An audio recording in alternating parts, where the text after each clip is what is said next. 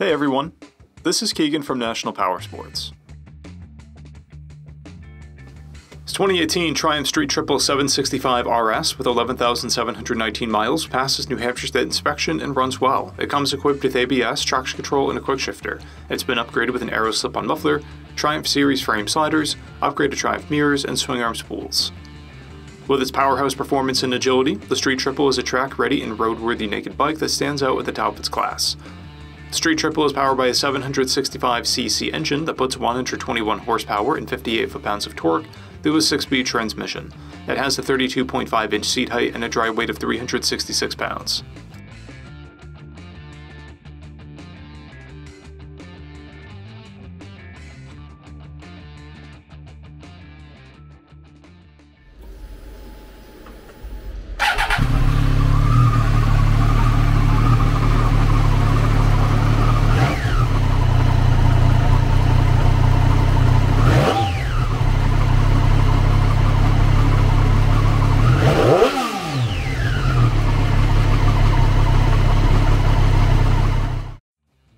To see everything we know about this vehicle, including full mechanical and cosmetic condition reports, the service repair order, high resolution photos, and more, please visit the listing on our website.